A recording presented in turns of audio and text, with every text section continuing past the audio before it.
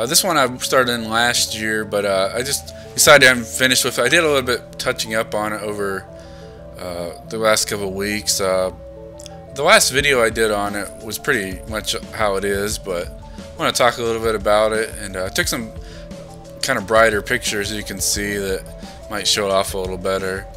Uh, I had a lot of fun making the kind of like the zombie ones. I did in Halloween, and um, I, I was gonna do some more of those, but I, I, that's about all I. I only got like four or five of them done before I I didn't catch up with the painting, so I kind of tore that setup down with the lighting. But uh, I probably might do that again sometime.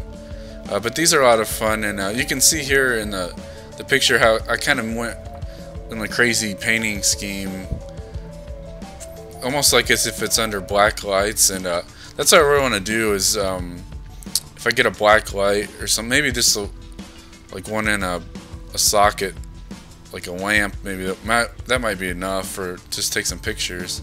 But I think it looked really cool and glow a lot because um, they put the white, different pink streaks along his arms and everything. And I was a little nervous about painting it this way at first because I thought it didn't look very real, but but it has a good effect just sitting on the, the table. It really kind of stands out, I think. Um, and he's uh, I don't know what is if he has a number or anything, but his name is uh, Mashup Mike is what they call him. Uh, I don't I don't know who he's supposed to be like modeled after because a lot of the Slug zombies are kind of spoofs on popular characters, but I never really understood who this guy was supposed to be. Kind of looked like the guy from uh, Ninja Turtles that I forget who had the mohawk. Is he Rocksteady or Bebop? Uh, I always get them confused when they're in like their human form, but uh, probably Bebop. I guess he has a mohawk still. But uh, it's kind of cool figure.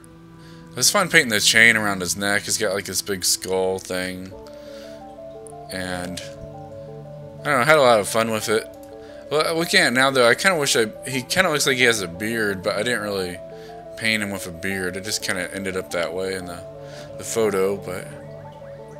Uh, these are a lot of fun. I, have had a lot more fun, I think, painting these slug zombies than the muscle figures because I can, because I, I don't know, it just seems, because they're newer maybe, because I, I, maybe I'm nervous painting the old toys in some way, but these ones I can have a lot of fun with, and uh, I like how they, they turned out, so.